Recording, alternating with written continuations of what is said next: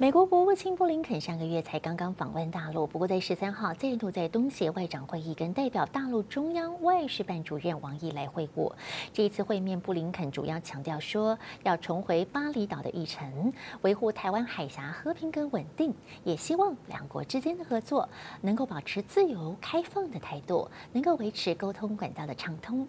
而王毅则是表示说，要求美方不要干涉台湾的问题。王毅阐述了中方在台湾问题上的严正立场，要求美方不得肆意干涉中国内政，不得损害中国主权和领土完整，停止对华经贸和科技打压，取消对华非法无理制裁。作为具有重要影响力的大国，中美应尊重地区国家努力，支持东盟中心地位，避免将争议和复杂因素引入区域合作。经过一个多月的谈判，美国演员工会在周四宣布协商破裂，预计十六号正式启动罢工。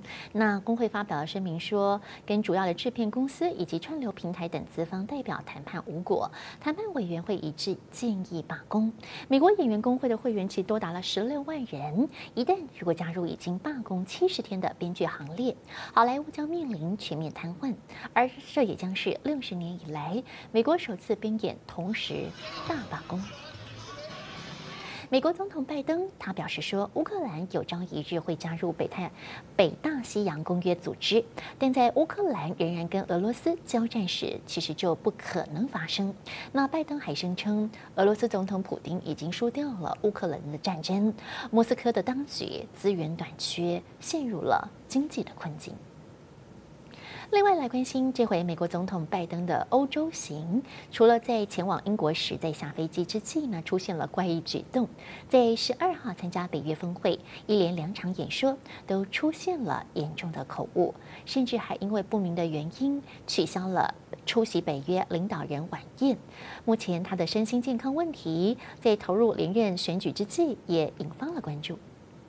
拜登刚走下飞机阶梯，他对着空气微举双手，还微微蹲低，似乎想要跳跃展现体能。但后来又神色自若，笑着走下楼梯。诡异举动再度引发讨论。而除了行为怪异，拜登两次演说也都发生尴尬口误。Vladimir and I, we, I should shouldn't be so familiar.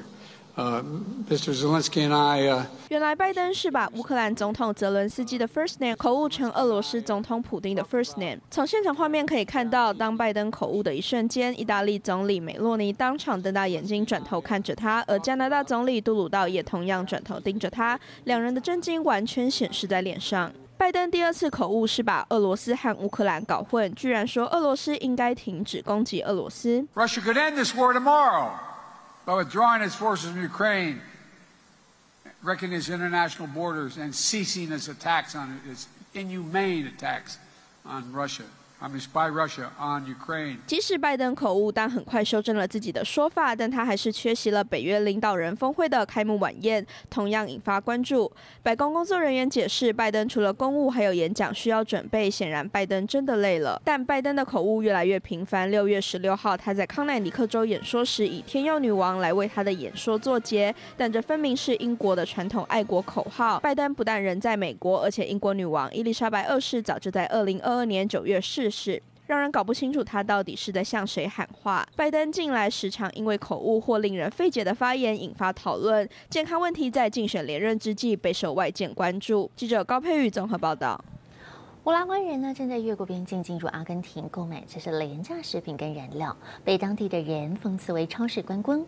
那主要的原因是为了阿根廷正面临超过了百分之百的通货膨胀，货币大幅的贬值。而今年以来呢，比索对美元汇率已经贬值大约四分之一，这也使得邻国没有办法跟阿根廷的价格来做一个竞争。